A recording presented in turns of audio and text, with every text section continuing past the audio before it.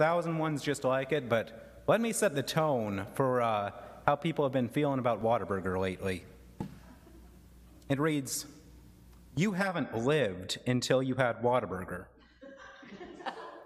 You haven't lived? Some of us haven't lived yet? That's going to change when we have Whataburger? What? It's a place that sells hamburgers.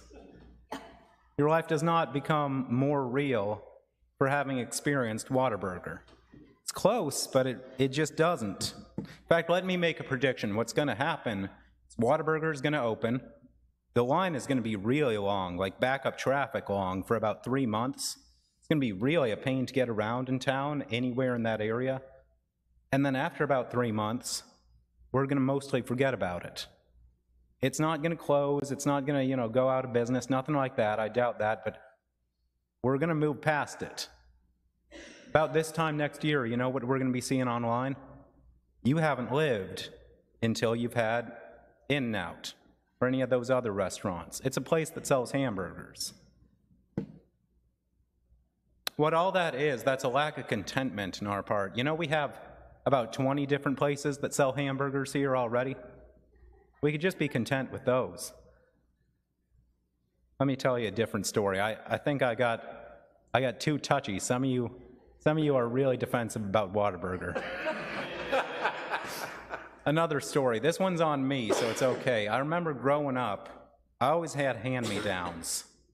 You know, and, and that was really an unfortunate situation because my brother had absolutely no taste.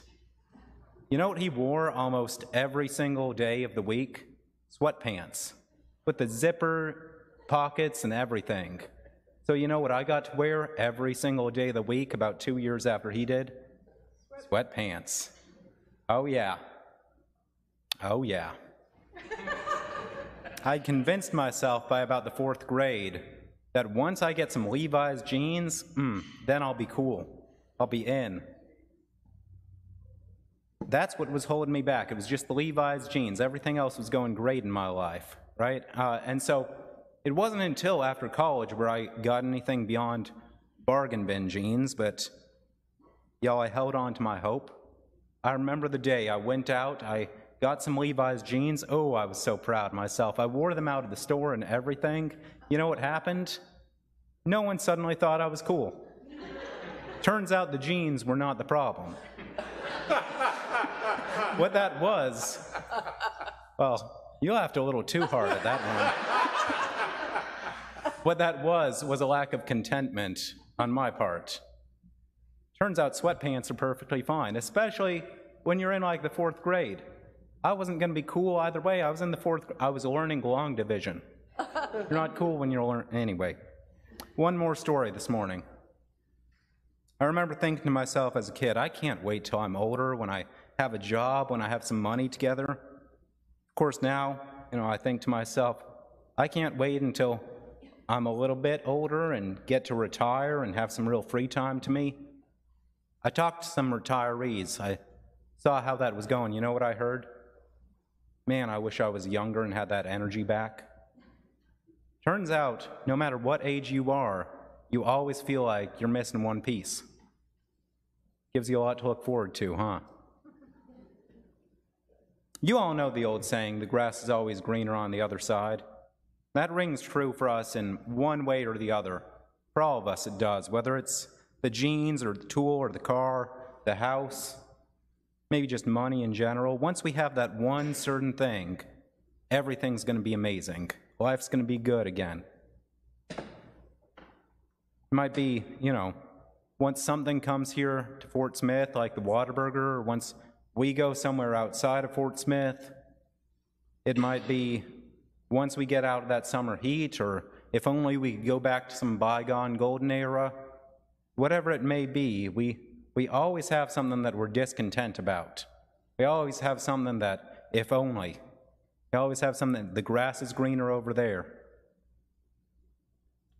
Caused me to wonder how much of life is just spent being discontent, just being mad, and then once you get something, being mad about something else. And the thing is, we all have something like that. We all have something in our mind right now. If only we had that, it'd be good. And once we get that, we're going to find something else to be discontent about. And the thing about it is, in, unless somebody has a private jet, a, a bank vault full of riches, and a time machine, I think we got to learn to just accept some of what we got. That's more or less, believe it or not, what's going on here in 1 Timothy. What's happening is the author is writing to more or less a, a young church startup, a church that had to make a lot of pivots, a lot of changes in their time, a lot of having to reassess, work through things. And so a theme that runs through this letter is, is advice. And the main piece of advice that I see is contentment, being okay with what you got. You know, early on it starts out, it says more or less, hey, Timothy, you don't need everything in the world. You don't need the, the first century equivalent of the church with the water slide and the fancy coffee shop. Just, you had good, faithful people. Work with them. Continues on, it talks about elders and deacons here. And I love the perspective because it doesn't, it doesn't tell elders and deacons you have to be perfect at all times and in all ways. And says you have to be okay with where you're at and let God continue to grow you from there. About contentment. Rounds itself off here in chapter 6, and now it's talking to the more well off folks amongst the church. And just like everything else, it, it's telling them to be content. And it's actually one of the nicest things the Bible has to say about wealthy folks in the church. Like you all remember the rich young ruler that Jesus encountered what must I do to inherit eternal life? Go, sell everything you have, give it to the poor. That was pretty cut and dry. Here it's much more relaxed. It's starting to get into sort of the Roman context uh, of Paul and the apostles' age, not so much Jesus and Jerusalem. Um, and here it's just it says, hey, just stop prioritizing wealth.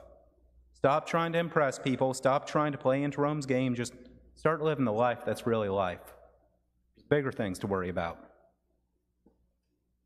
What it's doing is talking about contentment. It's telling the rich folks in Timothy's time, and by the way, we're all rich compared to any of the folks in Timothy's time, so that the message applies to all of us. It's telling us, let it go. You're going to be all right. Things are as they should be. You don't really need Whataburger. You don't need those jeans. You don't need to be a different age or whatever else it may be. And even if, even if you do, worrying about it doesn't change that. So just know you don't have to impress people. You don't have to look like the smartest person in the room or win that argument. Right now, this very moment, you could just, with what you got already, you could just choose to be happy. You could choose to be content. Doesn't that sound nice, church? Just being content with life. Like right now, we could all just choose to be the happiest we've ever been. By my estimation, which doesn't mean much, but, but by my estimation, happiness, it's like one tenth our situation and like nine tenths our choice of how we're going to interact with that situation. And so we could just start being content, start being pretty okay with where we're at. And yet, notice this absolutely none of us do it. Right? Everyone's always discontent all the time. That's how we operate as people. What's going on there? Well, see, honestly, it's something that a lot of folks struggle with, myself included, just being content, just finding joy in where you're at. It's, it's simple, and yet it's hard. It's one of those sorts of things. And you know, sometimes our, our lack of contentment, it can come from a selfish place. It can also come from just being on, on a mission, right? Being so dogged about the next step that you just can't be okay with where you're at now. So look at both those for a second. Like, I'll tell you my dream, my, dr- my selfish dream, and then I'll tell you the good one. My selfish dream, oh, I want a CNC router. They're like $3,000 they're half computer, half woodshop tool. They're absolutely pointless, at least for my use. I don't know what I'd use it for, but I want it. I'm sure, you know, if you were a furniture maker or doing some sort of IKEA, I think uses a lot of. Anyway, I don't need them. I want them. It's a selfish dream. Part of me just has to sort of let it go because I don't know where I'd put it. It's like 10 feet wide. I got to let that one go. Be content. But there's also, is you know, there's there's selfish dreams, but there's also missional dreams. Here at the church, you know, COVID shook things up. And man, I know a lot of us were just so excited about the next season of life where, you know, it's sort of like we're freed up again. We get to do the next things again. And I know I'm excited about it because I've just I've always dreamed of of a good church that meets both spiritual and physical needs, that's resourced well, that's just about its mission and getting after it. And that's something I see us getting back on top of, but but right now I have a favor to ask of us just for today, maybe for next week too, we'll see. I just want us to be content for a moment. You know, before we go back and keep rebuilding. I mean, we have work yet to do, but wow. This church, seriously, we weathered COVID so incredibly well. We weathered all the messes that came with it so well. We have every reason just to be content for a moment, don't we?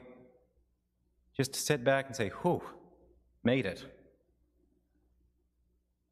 A lot of our lay leaders, they they saw to that. The, the amount of good work is just, it's inspiring.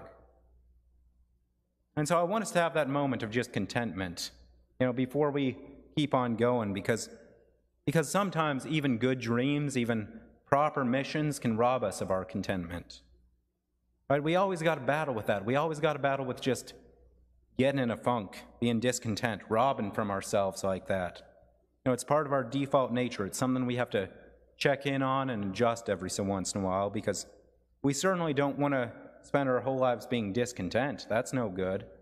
And we don't want to spend our whole lives just being complacent. That's no good.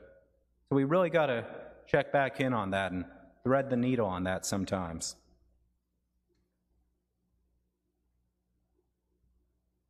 There, I'm sorry, I'm sincerely, this church did well under COVID.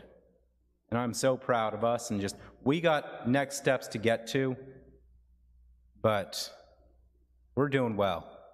We are doing well. It's, it's good. First Timothy, it outlines three things that we can do while remaining content. Three missional things we can do while remaining content. Three things that, that don't rob us of our spiritual health and well being, and I want to just walk through them briefly because I see them as instructive for us. Briefly, those are being rich in good deeds, being generous, and sharing. All three are things that you can do without losing any contentment, any peace, any spiritual well being. To put them another way, you can always see where there's something missing or something out of place and just address that situation. That shouldn't take even a bit of your peace away from you. You can always be generous. Second one. In fact, when you're content with where God has put you in that season of life, you can become incredibly generous. It becomes this sort of, oh, I'm doing fine. Here, you go ahead sort of mentality. Finally, you can always keep your contentment while sharing.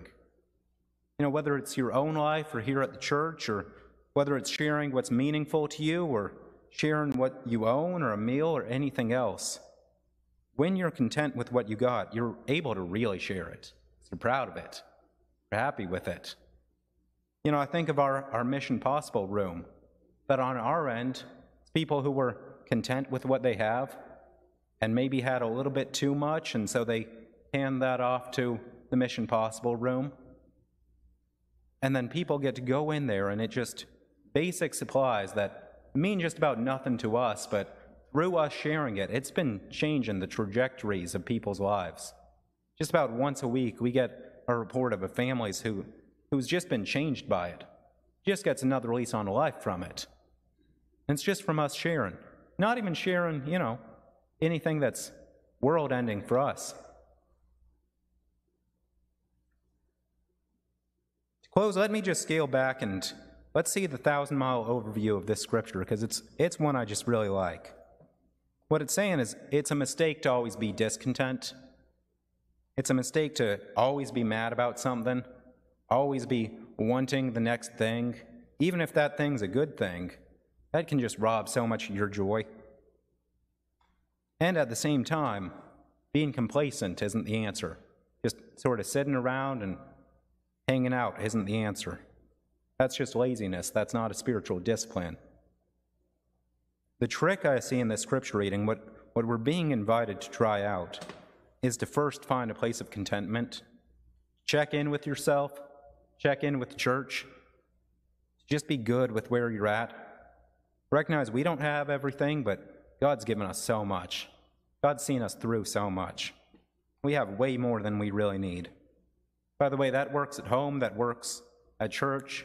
Sure, that works in your relationships everywhere you like. You can try that one out. And then, once you have that contentment, once, once you're just coming from a place of peace, all of a sudden you're not reacting to things, you're responding to things again. Get that sort of clarity, that deep breath sort of feeling. You get to move forward on things where, where you say, I'm, I'm good, but I'm not finished. Church, would you all try that out with me? Because while everyone, seemingly everyone in the world, is going crazy in this post COVID world, trying to, you know, scramble and get back something and, you know, what's the next step and all that, let's be the people who take a moment, who pause, find we're content, we're truly happy with where we're at, and at the same time, we are far from finished with the work God's given us. Again, we did so well during this crazy mixed up period of COVID. And that's not me saying it's over forever. We got to live with it and respond to it over time. But we did well through a whole lot of weirdness, didn't we?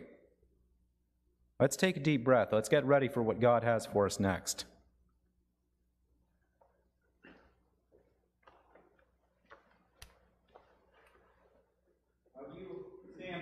God be with you?